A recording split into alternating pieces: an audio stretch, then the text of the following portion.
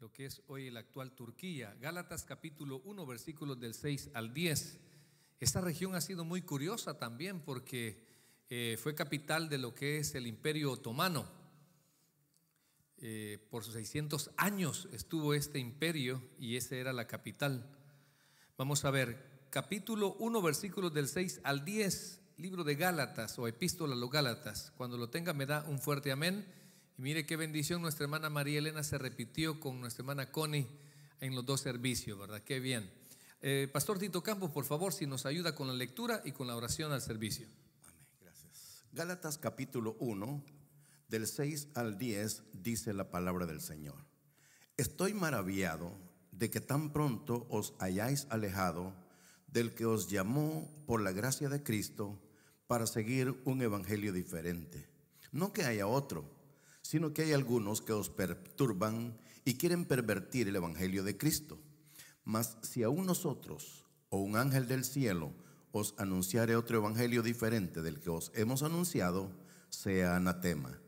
Como antes hemos dicho, también ahora lo repito, si alguno os predica diferente evangelio del que habéis recibido, sea anatema. Pues busco ahora el favor de los hombres o el de Dios. ¿O trato de agradar a los hombres? Pues si todavía agradara a los hombres, no sería siervo de Cristo. Oramos.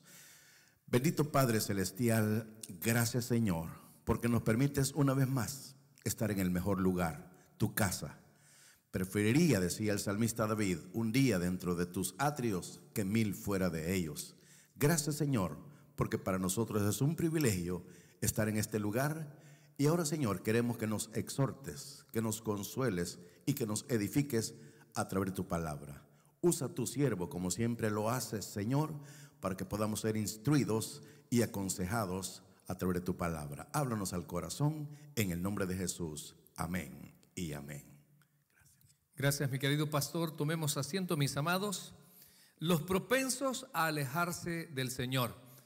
Hay un versículo que siempre hay que tener mucha atención, el que dijo el apóstol Pablo, el que piensa que está firme, mire que no caiga. Esta es una lucha diario, mis amados, y quisiéramos con este mensaje el que no permitas que ninguna mala influencia humana o una mala doctrina pueda alejarte del Señor.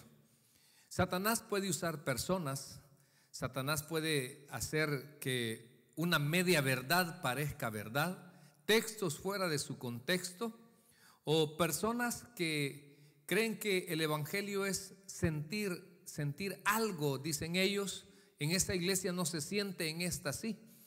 Hermanos, realmente usted ha sido sellado con el Espíritu Santo, usted no tiene que sentir, usted tiene que estar convencido. Usted no tiene que recibir un... Es que ahí no, no, no lo tocan a uno, ni lo tocaré ni lo votaré. Porque no se trata de emociones, se trata de una fe viva, una fe real a través de las enseñanzas, porque Jesús dijo, yo soy el camino, la verdad y la vida. Entonces, a lo largo de, me imagino yo, usted, como yo hemos visto personas que lastimosamente comienzan bien en el Evangelio, reciben a Cristo, se bautizan, posiblemente Dios empieza a transformar sus vidas, pero sucede algo ahí, pasa algo en sus vidas donde pueda ser que una persona les estropeó el seguir en los caminos del Señor tal vez este, le falló, tal vez fue un mal ejemplo, pero nosotros siempre hemos dicho que la mirada en nuestra fe es en Cristo, no en los hombres. Amén. o muchas veces usted, eh, por ejemplo, siempre he dicho, mis amados, que a la iglesia venimos a buscar de Dios.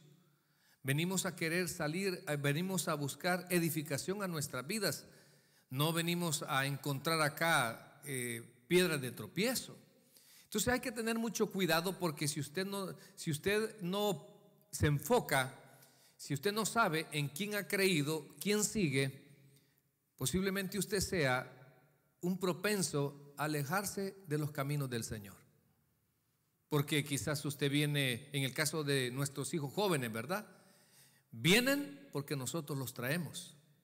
La pregunta es, ¿vinieran ellos de su propia voluntad? E, esa es la gran pregunta, donde, mis amados, yo no quiero que usted sea propenso a alejarse de los caminos de Dios. Yo quisiera que esta carrera la terminemos cuando suene esa trompeta y todos nos vayamos con el Señor. Amén. Pero seguramente usted ha tenido esa experiencia y dice, hey, mira, fíjate que aquel hermano ya no se está congregando. Mira, fíjate que aquel hermano ya no está sirviendo. Pasó algo en él o en ella que ya no siguió. ¿Sí? Entonces, y mucho más grave todavía, que se alejan de Dios. Eh, a nosotros los pastores nos sucede, mire, entre los hermanos se prestan dinero, no se pagan. Entre hermanos se cuentan chismes y después se los cuentan. Y ahí y se van de la iglesia. Y es que yo no puedo ver a ese hipócrita ahí. Yo no puedo saber a ese hermano ahí. Y yo le digo, pero mire, ¿y qué le ha hecho Cristo? Él no me ha hecho nada. Entonces la iglesia no le ha hecho nada.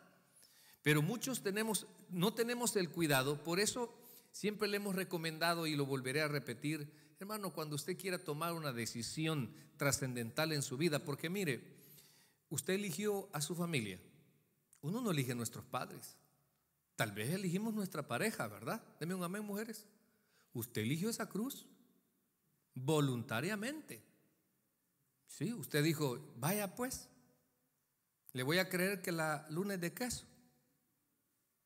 Vamos a cortar flores, va, está bien, usted voluntariamente, eso lo eligió usted. Pero la familia, entonces mire, siempre he creído que uno está en la iglesia porque es Dios quien lo ha traído que usó personas, pero al final detrás de todo eso, ¿quién está es Dios. Entonces, si Dios quiere que usted se mueva, ¿a quién le va a consultar? Porque hay personas, hermano, mire, a mí me da tristeza es esos que andan del tingo al tango de iglesia en iglesia. Fíjese que hay ovejas que no les gusta vivir bajo una autoridad pastoral, sino que todo va bien mientras uno no les confronte sus errores o si no los... Eh, es que, es que a mí el pastor no me toma en, toma en cuenta en qué. Bueno, si la verdad es que cuando uno quiere servir, hasta hace cualquier cosa. Pero hay personas que, créanme, me da tanta tristeza en su vida de fe y solo andan de seminarios en seminarios de iglesia y lo peor que ni aprenden nada. Escuchan mucho, pero no los veo que pongan en práctica en todas esas grandes capacitaciones que andan. Entonces no son nada, no tienen una identidad. Estoy enojado, hermanos. La verdad que sí, pero mire, entonces yo he conocido también personas que, me acuerdo uno, iba a la iglesia, estaba estudiando conmigo y de repente me dijo, fíjate que, oiga, estoy visitando una sinagoga, me dijo. Bueno, qué bien, le dije yo, mira, y sí, me, ya los, a los dos meses me dijo, mira, ya me di cuenta que yo soy de la tribu de Leví, me dijo. Mira, le digo, y para aquellos que son salvadoreños, vea, mira, si vos sos guillo de allá de Santana, le dije, estar inventando. O sea, sentiste orgulloso de ser salvadoreño, hombre. Y ya, ya, de repente el shalom apareció con el kipá, eh, dejó su casa de oración, terminó judaizando. O sea, hermano, ¿cómo vamos a retroceder? Mire, yo me siento, pero orgulloso de ser cristiano usted. Yo me siento pero orgulloso de llamarme cristiano. No me siento ni más ni menos con los judíos en la fe. al contrario, si lo que ellos han rechazado para nosotros ha sido una gran bendición. Pero qué triste ver, pero y, y la gran pregunta, digo yo, ¿verdad? ¿Por qué cambió? No, no les fue suficiente Cristo. No les fue suficiente la palabra. ¿Qué más quieren, hermano? ¿Qué más andan buscando si en Jesús está la verdad? ¿Qué más andan buscando? ¿Qué más eh, andan buscando si ya la rueda ya, ya está inventada? Pero son ese tipo de personas que quieren saber mucho, pero quieren creer poco o quieren practicar poco. Y hay otros, no solamente que dejan su cristianismo, sino que cristianos que ya no son nada. Cristianos yo no voy a poner en duda de su salvación, pero hubo un estorbo ahí. Hubo un estorbo y que ninguna, para mí, ninguna justificación es correcta para dejar los caminos de Dios. Ninguna justificación es correcta para dejar de congregarme. Ninguna justificación es correcta para dejar de servir. Ninguna justificación es correcta para poder decir, mire, una cosa es que el Espíritu Santo te mueva y otra cosa es que tú te muevas por tus emociones, por tus inconformidades, por tus enojos, etcétera. Entonces, por favor, siempre es muy importante en esas decisiones, digo trascendentales, porque muchos queremos una bendición de Dios o queremos estar en el centro de la voluntad de Dios y no somos obedientes. No somos obedientes. Entonces, mire, el apóstol Pablo me encanta porque él siempre fue un verdadero defensor, un, gran defensor del, del verdadero evangelio. Porque aquí en Galacia pareciera que estaban mezclando la gracia con la ley. Y se molestó tanto y dijo, bueno, miren, ¿y ustedes qué les pasa? Si ustedes ya están volviendo a los rudimientos de la ley, nosotros ya no estamos bajo la ley, estamos bajo la gracia. Cuando les dije que recibieran a Cristo, no fue por sus obras, fue un acto de fe. Entonces él condenó a esos falsos maestros. Yo no sé si usted puede, o bueno, aquí tenemos una eminencia. Pastor, ¿me puede decir cuáles son esas características de un falso maestro? Enseña ocurrencias alejados de la Biblia. Mire, este, toma de base otros la opinión de hombres y no la opinión de la palabra de Dios. O la, o la Biblia, pues. Sí, es, es, es, eh, me acuerdo que hay unos que les gusta andar dando capacitaciones y siempre digo yo, ¿verdad? ¿Y cuál es tu recorrido? ¿Qué has hecho? Solo andan, y hermano, se andan aprovechando de los ministerios. O sea, me da tanta tristeza esos, esos falsos maestros y, y nosotros a lo largo hemos visto, por ejemplo, Evangelio de la prosperidad. Y es un falso evangelio, donde se le enseñó a la gente que su fe era reflejada por la prosperidad. Que si usted no era próspero, era un mal cristiano. Bueno, y si Jesús dijo que a los pobres siempre los tendremos. Entonces usted no se sienta mal y decir, yo a saber por qué este, a mí Dios no me prospera. No, hermano, es que la prosperidad no es sinónimo de estar bien con Dios. Si algunos son prósperos porque tienen movida.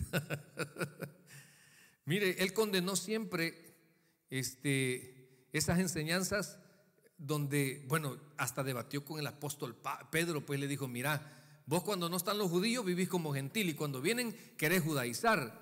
Y, qué, qué, qué tenacidad, qué valentía del apóstol Pablo, o sea, era un hombre que sabía en quién había creído y defendía su fe. Defendía, yo no sé, hablaba con un hermano este, y le decía, si hay algo que a mí me, me molesta, hermanos, es que hablen mal de Cristo. O sea, digo yo, me, me, molesta, me ofende. Y dos, les soy muy honesto, que hablen mal de la iglesia. No pueden hablar mal de los hermanos, pero no de la iglesia. Porque la iglesia no, no es el nombre, hermano, es el cuerpo de Cristo. Y la iglesia, la cabeza es Cristo. Y nosotros valemos por Cristo. Pero a mí en lo personal me indigna, me molesta y lo ponía como en comparación como cuando aquellos que tal vez somos de Centroamérica, no sé, pero yo me crié cuando a mí me mencionaban mi mamá, eso era pleito. O sea, a mí me mencionaban a mi mamá, me la sacaban. Le decía yo, vaya, era de darme duro. Porque eh, era tocarme algo sagrado. Así siento yo cuando se refieren a la iglesia del Señor, fíjese. No es que ahí van hipócritas, sí es cierto. Todos somos hipócritas, hermano. A unos se nos nota, a otros no. Y hay hipócritas adentro de una iglesia y fuera de una iglesia. Si hipocresía todos tenemos, ¿cómo voy a condenar algo que yo también practico? Pero sigamos a esos, esa gente. Mire, él supo exponer con autoridad la salvación por medio de la gracia. Eh, si usted ve, eh, si lee esto, solo son seis capítulos de esta epístola. Y como dice, miren, cuando Abraham creyó, eso fue lo que se le, lo que se le aceptó. No fueron sus obras, sino el creer en esa promesa. Y, de, y le dijo, y en tu simiente, y esa simiente era Cristo, dijo. Y ahora nosotros somos parte de esa simiente. Ese, ese, esa bendita bendición de la gracia. Ahora mire, por eso siempre hemos dicho que el Evangelio, hermanos, tiene tres características. El Evangelio es sencillo. El Evangelio no es complicado. Hay hermanos que dicen, mira, ¿y por qué no estudias teología? No, pastor, es que eso no es para mí. Mire, el estudio de la palabra es para todos. Usted puede estudiar por llamamiento o puede estudiar por interés de la escritura. Eso, eso no se limite, es que la escritura solo es para llamados. No, el estudio de la escritura solo es para llamados. No, es para también aquel que quiere saber más del Señor. Es, es sencillo. Sabe que el Evangelio es práctico. ¿Sabe quiénes lo complicamos? Nosotros los hombres con nuestros dogmas. Mira, hoy teníamos un gran debate con los de acomodación. Ponemos uno sí, uno no, uno atrás, uno adelante. Eso es gran plática que nos ponemos nosotros a querer arreglar el mundo. Mira ahí el parqueo, ¿cómo lo hacemos? Y ponemos aquí cosas, hermano, pero el Evangelio, Evangelio, no la, no la parte logística, no, no los asientos, no el uniforme, es práctico. Es sencillo y es práctico. No es complicado, fíjese. Y el Evangelio, mis amados, es para todos. Y eso es donde se ve o se nota una iglesia donde se predica la sana doctrina. Donde no dicen, solo nosotros tenemos la verdad, solo nosotros tenemos salvación. No, solo en Jesús hay salvación. Solo en Jesús está la verdad. Solo en Él. Porque Él presenta a través de la Escritura y el Espíritu Santo que nos convence, pero el Evangelio es sencillo, práctico y para todos. Mire, eh, aunque usted no lo cree, fíjese qué lindo esto. El mismo libro que abrimos nosotros, los mismos libros, la misma lectura, tienen los niños de escuela bíblica. Y sabe que ellos aprenden más que usted, hermano. sí, fíjese, no crea que andamos buscando otros libros. No, la Biblia es para todas las edades. ¿Sabe que si usted viene con un corazón receptivo, nos puede hablar a los hermanos de 18 años, a los hermanos de 14, a los hermanos de 20, a los casados, a los solteros, eh, a todos. A los sinvergüenzas iba a decir ya. Hermano, porque la palabra es viva y nos habla a todos. Pero claro, va a depender de quién, de usted de usted. El que ponga ese interés y entender que el evangelio es sencillo, práctico y para todos. Ahora sabe que en esto, porque me quiero centrar mucho, porque me preocupa, hermano, usted. Yo no quiero que usted sea el próximo en alejarse del Señor. Hay muchos que se nota o que pueden ser propensos a alejarse del Señor que se me desanime, que se desenfoque o que pierda ese deseo, etc. Mire, por ejemplo, hay personas que pueden mal influenciar tu vida con Dios.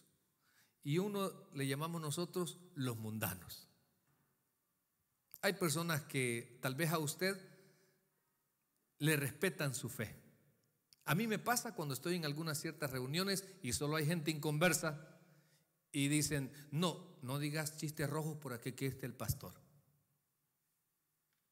Entonces, lo respetan a uno, ¿verdad? O los hermanos que trabajan, me imagino yo, pero hay otros que no. Hey, pastor, que esto, vamos, vamos a echar un par de cervezas. Ahí le pide perdón al Señor el domingo. Mira, aquí está el hombre, ¿ve? Pero hay gente que, usted si no tiene cuidado, que lo puede mal influenciar. Yo siempre digo, mira, ahorita ya viene, estamos noviembre, ya viene diciembre. Ya vienen las fiestas, ya vienen las invitaciones.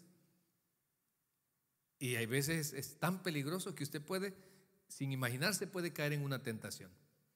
Yo siempre digo, si usted no domina, si usted todavía no tiene ese dominio propio, a ver, ¿cuántos pueden estar en una mesa y pueden haber cervezas ahí y no toman?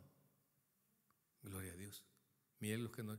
Hermana Rosita no puede, porque entonces agarrar cuatro. Gloria a Dios, gracias por su sinceridad, hermana. Mire, sí. A veces uno dice, no, fíjate que no, yo mejor no voy porque peligroso. Pues. Y, de eso se trata. Si el apóstol Pablo incluso le recomienda a Timoteo y, hasta le dice, ¿verdad? Mira, huí de las pasiones juveniles. O sea, porque hay cosas que uno no las va a poder gobernar. Entonces, si usted se conoce, yo siempre digo, según su, el hombre, el ser humano es, mire, algunos hoy han venido bien contentos, porque en su cartera andan 300 dólares. Y de los 300 dólares nos vamos a ir a acabar 100 ahora en la noche. Ay, ¿de dónde, verdad? andan contentos, pero otros tal vez andan tristes. Algunos andan molestos y en esas emociones el enemigo se puede aprovechar. El enemigo le puede servir de tropiezo. Tenga mucho cuidado. ¿Sabe qué me preocupa a mí muchas veces en este país? Los matrimonios. Porque es un, es un, eh, es un ir y venir de trabajo, horarios diferentes. Y, eh, si no tenemos cuidado en equilibrar, podemos ser tentados. Ni un amén. Mire, personas que a usted no le van a edificar mucho, los que, son de una secta. La vez pasada me dijo un hermano, fíjese pastor que estoy en un estudio los testigos de Jehová. O sea, mis amados, no estás haciendo nada. No sabes en quién has creído. Es que ahí ellos enseñan, ¿enseñan a qué? Y lo decimos abiertamente porque es una secta que atenta contra el cuerpo de Cristo. Pero hay unos que son tan simples, hermano, que hay personas que, yo no digo que no les hable, yo no digo que no comparta, pero cuidado y pone en duda su fe. Cuidado. Mire, personas que pueden ser muy peligrosos eh, para usted son los religiosos resentidos. Y todavía estás yendo a esa iglesia. ¿o? sin sinvergüenza para servirle a usted. Personas que por A o B motivo se van de las iglesias y tal vez tengan razón, pero si usted no tiene cuidado, le pueden enturbiar también su vida, su vida de comunión con Dios. Usted tiene que aprender a delimitar y saber qué son las cosas correctas y hay personas que si usted no tiene cuidado, los resentidos religiosos le pueden enturbiar su vida de fe. ¿Y sabe quién también es peligroso eh, en su comunión?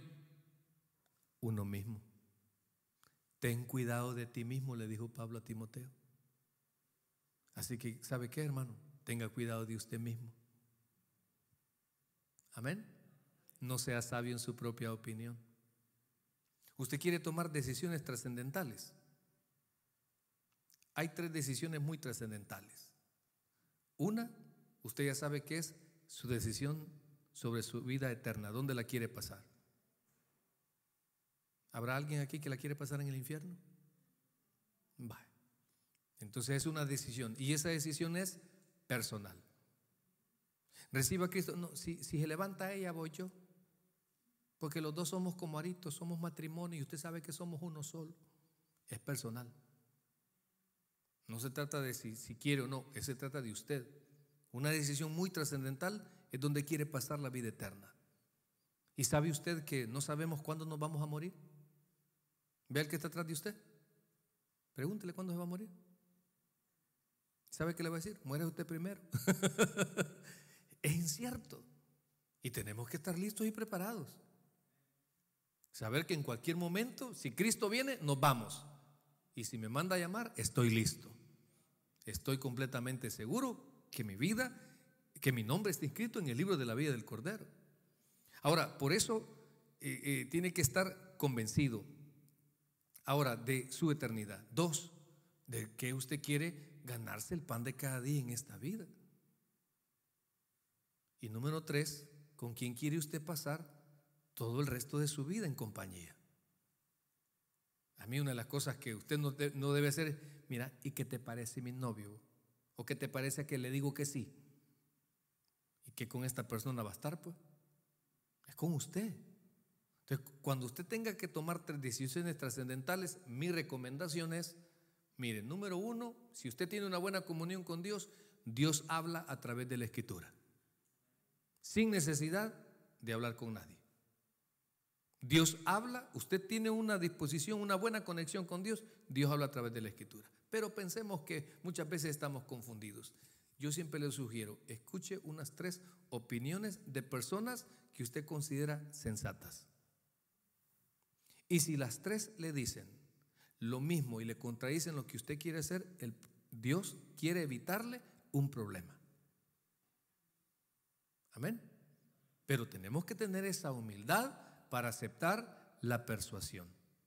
Yo pienso con estos cristianos de Gálatas, que el apóstol Pablo que hizo, mire, le mostró y les dijo, miren, el judaísmo o la ley, esto nos ayuda para mostrarnos lo pecador que somos y buscar de Cristo.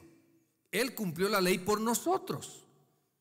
Entonces, pero de repente hubieron malas enseñanzas y ellos querían judaizar querían guardar el sábado, querían practicar todas aquellas cosas que ya no, ya no les sirven en esta dispensación.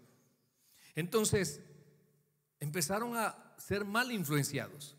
Por eso, al final digo yo, Dios utilizando al apóstol Pablo para poder persuadir, pero va a depender de qué? De que tanta humildad tengamos nosotros para lograr esa, perdón la redundancia, esa persuasión. Pero si usted no es humilde, no va a aceptar, no va a reconocer los errores. Que yo sé que eso muchas veces a nosotros los adultos nos cuesta. Reconocer o aceptar dónde estamos fallando. Entonces, mire, ¿quiénes son propensos a alejarse de Dios? Número uno, los que no se conforman con las verdades y las enseñanzas bíblicas. Ese es un hermano. En toda iglesia, en toda iglesia de Cristo, ahí hay suficiente está el Espíritu Santo y está la palabra de Dios. No hay otro libro, es la Biblia. Entonces hay personas que no se conforman con las verdades y enseñanzas bíblicas. No hay otro evangelio. Dice, estoy maravillado de que tan pronto os hayáis alejado del que os llamó por la gracia de Cristo. Entonces, en primer lugar, mis amados, ¿quiénes son propensos a alejarse de Dios o de sus caminos? Los que no se conforman con las verdades y enseñanzas bíblicas. Hermano, la salvación es por gracia, por medio de la fe. Hermano, la salvación no es por perseverar, la salvación es por creer. Tiene que estar firme en esas convicciones. Entonces, la, palabra de Dios es suficiente para nosotros. Es suficiente. Por favor, desarrolle ese buen hábito de la, una buena oración y una buena lectura bíblica. Y no se va a dar, no se va a dar una idea cómo su vida espiritual va a mejorar. Y número dos, hermanos, usted va a andar, va a andar más fortalecido en su fe. Entonces, mire, en segundo lugar, quiénes son aquellos propensos que se pueden alejar de los caminos de Dios. Ya le dije, los que no se conforman con las verdades y enseñanzas bíblicas. Mire, hay estudiantes que cuando entran a la universidad o algo, empiezan a enseñarle cosas, como por ejemplo, cómo se formó el universo. Y empiezan que ves a través de una explosión. Pero mi Biblia dice que en el principio creó Dios los cielos y la tierra. Entonces yo sé en quién he creído. ¿Me entiende? Pero hay que tener, conformarme con lo que dice la Biblia, no con lo que dice el hombre. Ahora, número dos, mire, los que terminan siendo discípulos de un hombre y no de Cristo. Esos terminan alejados de Dios. Los que terminan siendo discípulos de un hombre y no de Cristo. Allá el apóstol Pablo reprende a los de Corinto y dice, Miren, ustedes andan diciendo que unos son de Apolos, otros son de Pedro. Y menos mal, yo no recuerdo si ni bauticé a ninguno, dijo, para que no digan yo soy de Pablo, porque son carnales, porque la iglesia solo es una, hermano. Realmente nosotros debemos entender esa parte de que nosotros no somos discípulos de un hombre, nosotros somos discípulos de Cristo, de Jesús. Porque dice, no que haya otros, sino que hay algunos que os perturban queriendo pervertir el Evangelio de Cristo. Mire, una de las cosas muy importantes que usted como creyente debe de, darle vida, dejarse dirigir por el Espíritu Santo. ¿Por qué, pastor? Porque Él nos consuela, porque Él nos guía y Él es el maestro por excelencia. Déjese dirigir por el Espíritu Santo. Ahora, recuerda hermanos que muchos en ocasiones, a mí, me, a mí me enseñaron este dicho, mire, no le pidas pan al hambre. Amén. Mire, ¿sabe cuál, cuál problema, qué, qué vergonzoso es para algunos? Que a una persona que no sea cristiana le diga, Dios lo use para darle un consejo. Si usted es luz, hermano, usted es la sal de la tierra. Dios lo ha puesto a usted para que usted les muestre el camino al cielo. Pero en nuestras aflicciones, yo no sé si usted ha tenido problemas que de repente alguien que no es cristiano le dice, no se aflija, recuerde que usted tiene fe, le dice a uno. No, no le han dicho así. no se preocupe, recuerde que por algo está yendo usted a la iglesia. Dice, esta persona que ni se congrega, toma, fuma, roba, mujeriega, me está dando un buen consejo. No, hermano, lo que pasa es que nosotros, fíjese, no permitimos dejarnos dirigir por el Espíritu Santo. Número tres, porque el tiempo nos avanza y no quiero que le remolquen el carro, hermano. ¿Quiénes son propensos a alejarse de Dios? Primero dijimos los que no se conforman con las verdades y enseñanzas bíblicas, los que terminan siendo discípulos de un hombre y no de Cristo, los que solo buscan entretención y no edificación. Yo tengo un problema. Mis amados, pues cada quien tiene su propio estilo para predicar. Y pues yo no me gusta ser ni tan serio, y me, me gusta ser un poco gracioso. Pero fíjese que hay veces los hermanos se acuerdan más de los chistes que de las enseñanzas. Y eso me cae mal, fíjese. Porque usted debe retener lo bueno y guardar ese chiste para los malos ratos, amén. Pero mire, la iglesia no es entretención, es edificación. Recuerde, entonces usted debe tener ese interés y preocuparse por su crecimiento espiritual. Mira, hermano, evalúe cuánto ha crecido. Evalúe cuánto le ha permitido al Espíritu Santo obrar en su vida. Ahora, bueno, no sé usted, pero en lo poco que yo tengo de ser cristiano, yo conozco ovejas usted que van a un seminario de esto, van a una capacitación de esta, que van a no sé dónde, que van aquí, que van allá, que ya casi pueden mm, viajar a Marte hermano, y nunca practican lo que aprenden. Tienen 70 certificados de no sé qué y su vida la misma o peor. ¿Sabe por qué? Porque les gusta oír, pero no les gusta practicar. Nosotros, los verdaderos discípulos, escuchamos las enseñanzas del Señor y nos preocupamos por qué? Por practicarlas. Que hay cosas que no son fáciles, porque hay cosas, hermano, que créanme en lo personal, bendecir a un enemigo, qué difícil es. Qué difícil es decir, Señor, bendice a mi suegra. No, hermano, eso es tremendo. sí, pero eh, eh, mire, yo no sé si usted en algún momento le ha tocado vivir ese versículo, honra le es pasar al hombre la ofensa. O sea, que le han ofendido y está la persona y usted quiere saludarlo con mano abierta o con mano cerrada. Y, y, el Espíritu Santo le recuerda que usted es cristiano. Es que usted dice, tengo que callarme. Que usted dice, no vale la pena. Claro, porque usted quiere crecer y no solo quiere entretenerse en su vida de fe. Y por último, mis amados, para terminar, porque le digo, yo no quiero verlo que usted sea parte de esa estadística de aquellos. O sea, no me cabe la cabeza. Mira, te cuento, el pastor Cristóbal se hizo Hare Krishna. Ahí anda el todo rapado, anda una manta con caites. Ahí anda detrás. ¿Qué le pasó? hermano, yo ya lo he visto. Personas que han caminado en el Evangelio, pero se salieron. Porque dicen ellos que buscaron algo más. Con Cristo estamos completos, iglesia. No necesitamos. Créamelo, no, no necesitamos. Con Cristo estamos completos. No necesita usted esa experiencia religiosa. Eso es para Enrique Iglesias, que creo que sacó esa alabanza, ¿va? Amén, va, gloria a Dios. Entonces, mire, yo no quiero que usted termine en una secta. Yo no quiero que usted termine fuera de los caminos de Dios. Yo no quiero que sea usted parte de, esa, de ese montón de gente que termina fuera por una mala influencia, por una mala enseñanza.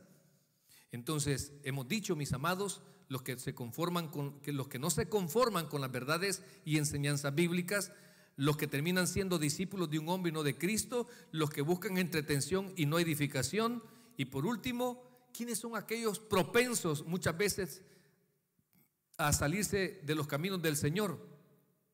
Los que buscan reconocimientos de hombres y no de Cristo. Esos también. Mira vos, ¿por qué te saliste del ministerio? No, ahí ni las gracias dan. No digo que es malo, que es bueno, pero fíjese que debe de trascender, hermano. Seamos ya maduros en la fe. Seamos cristianos, hombre, cristianos bíblicos. ¿Sabe?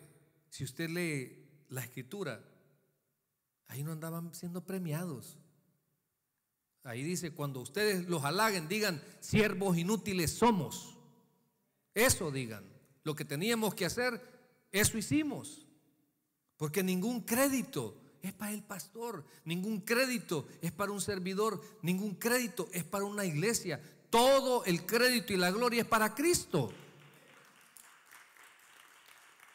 Entonces, cualquier cosa que usted haga, lo que usted tiene que sentir es satisfacción que se lo hizo a Dios. Hermano, y todavía el apóstol Pablo en esta epístola dice que miremos cómo sobreedificamos. Porque Dios puede poner a prueba eso que usted edifica y dice, y si su obra es de heno, jaraca, no tiene que ser de plata o de oro, que prevalezca. Porque todo, Dios no es injusto para olvidar sus lágrimas, lo que usted hace por el Señor. Pero mire, yo siempre he dicho, desee mejor los premios eternos que los terrenales. Cuando usted se muera, aquí le vamos a dar una medallita. Cuando usted se muera, ahí va a quedar. Y de repente van a llegar los hijos, los nietos, va, mira, guardarlo de la abuela, a meterlo a una caja. Y ahí se quedó. En cambio, realmente, si usted hizo todas las cosas para Dios y no esperó reconocimiento de los hombres, ahí en el cielo va a ser premiado. Ahí en el cielo. Aquí le queremos enseñar a, que usted no busque vanagloria de hombres, sino que sienta la satisfacción de que le ha servido al rey. Mis amados, por eso dice, mire, busco ahora el favor de los hombres o el de Dios. Debemos de entender y aprender que todo obrar es para el Señor y no para los hombres. Nuestras acciones, más allá de agradar al hombre, son a nuestro Dios. Por favor, si no usted de repente ya no va a servir. Si no de repente usted ya no va a hacer algo para Dios. Mira ahí y te dieron las gracias. Mira y te lo agradecieron. Bueno, yo no digo que no es malo, que no es bueno, pero no trasciende. No trasciende. Y, y Dios tiene, ¿sabe qué tiene Dios? Las maneras de cómo probar lo que andamos en el corazón. Dios tiene sus maneras de probar lo que andamos en el corazón o si realmente para con qué intención hacemos las cosas, fíjese. A mí ya me ha pasado. Me ha pasado, eh, digamos, eh, con mi iglesia central. Hacemos algo, obramos algo, o tenemos un gran historial, pero digo yo, ¿y yo, y yo por qué quiero esperar el agradecimiento del hombre? Lo que tuvimos que hacer, hicimos. Pero no ando, he aprendido a que no me afecte, no me mueva, no deje de hacer lo que tengo que hacer solo porque alguien no me felicitó, no me lo agradeció. ¿y por qué lo hago y para quién lo hago? ¿Lo hago para que me mencionen en el chat de pastores? ¿Lo hago para ser mencionado en Radio Bautista? ¿O realmente lo hago porque es nuestro deber como iglesia del Señor? Y los créditos no deben de ser para un pastor, no deben de ser para una iglesia, debe ser la gloria y la honra para el Señor Jesús. Y a muchos les afecta, se enojan. Ah, pues ya no diezmo porque no me dieron una placa. Ah, pues ya no fueron. Hermano, ¿para quién y por qué hacemos las cosas? ¿Con qué intención y para quién lo hacemos? Porque a algunos les afecta tanto que eso es proclive que se mueven del Señor. Así que mis amados, es mi deseo que usted no sea de esos propensos, sino al contrario, que sigamos peleando la buena batalla hasta que Cristo venga. Démosle un fuerte aplauso al Señor, vamos a orar. Amantísimo Padre que estás en los cielos, qué triste es que la historia enseñe, Padre Santo, que muchos terminan saliéndose de tu gracia, terminan, Señor, en sectas, terminan, mi Dios, alejándose de la iglesia donde se predica la sana doctrina, terminan, Señor, haciendo su voluntad y no la tuya. Mi Dios, esos que son propensos a alejarse de ti son aquellos, mi Dios, que no se conforman con las verdades y enseñanzas bíblicas. Andan buscando algo más, Señor, en sus vidas, vano porque todo lo enseña tu escritura. No hay nada nuevo. En segundo lugar, Señor, porque terminan siendo discípulos de un hombre y no de Cristo. Señor, en nosotros creemos que el ministerio está dirigido por hombres y por ello somos imperfectos. Lo importante que en toda iglesia esté siempre tú, Señor, presente, corrigiendo, mi Dios, aquellos errores, aquellas deficiencias, pero eso no quita, Padre bendito, que acá no se predica la sana doctrina. Te agradecemos, Padre, también, porque nuestra vida de fe, el esfuerzo, el sacrificio, queremos edificar, seguir edificando nuestra vida, Señor, seguir, seguir experimentando esa bendición de crecimiento espiritual, conocimiento bíblico, Padre. Por eso te pedimos, Dios, que más allá de este poco tiempo que tal vez te dediquemos a ti, sea nada más el inicio, Padre Santo, el mandamiento de no dejar de congregarme como muchos tienen por costumbre, pero sí, Padre, tener esa satisfacción que venimos a crecer en el Espíritu. Ahora, Señor, lejos esté de nosotros cualquier cosa que hagamos, cualquier cosa que pongamos, sea para recibir un, reconocimiento de hombre, Señor. Mi Dios, nosotros hacemos las cosas porque así lo enseña su palabra y nos sentimos satisfechos, Señor, de haberlo hecho para usted. Por eso distancíenos de cualquier cosa que nos quiera afectar el obrar que hacemos para usted, Señor. Bendiga, Padre bendito, la vida espiritual de mis hermanos, porque sería triste, Padre, que algún estorbo en sus vidas los alejen de la iglesia los alejen de su servicio y o terminen, Señor, en falsas sectas. Gracias te damos. Ahora voy a hacer un llamamiento para aquel que nunca ha recibido a Cristo. Repita después de mí esta oración. Amantísimo Padre que estás en los cielos, este día yo te recibo como mi suficiente Salvador personal. Creo Jesús que tú eres Dios, que moriste en esa cruz por todos mis pecados Señor, hoy me arrepiento, soy pecador, perdóname. Gracias Padre por enviar a tu Hijo a morir en mi lugar. Gracias Jesús, porque el día que tú vengas por tu iglesia, o tú me lleves a, me toque Señor vivir mi último día de vida en esta tierra, tú me llevarás al cielo, porque te he recibido en mi corazón. Amén y amén. Señor, te queremos pedir por este